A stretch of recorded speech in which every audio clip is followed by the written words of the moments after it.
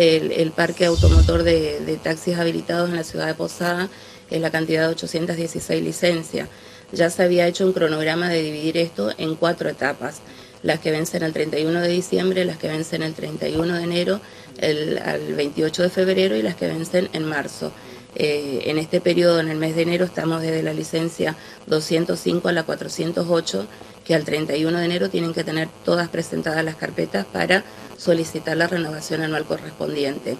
Lo que estamos haciendo es un control general, no solo de taxis, sino de, de remises también y de transporte escolar. Los transportes escolar tienen que tener su habilitación al primer día hábil de clases. O sea, tienen todo enero y febrero para presentar las carpetas correspondientes también. Para marzo tendrían que tener todo. Tendrían que tener porque la Dirección de Automotores tiene que tener un registro de los transportes escolares habilitados para cuando la gente consulte antes de tomar la prestación de este servicio. En Posadas, entonces, ¿cuántos taxis tendríamos habilitados? 816 taxis.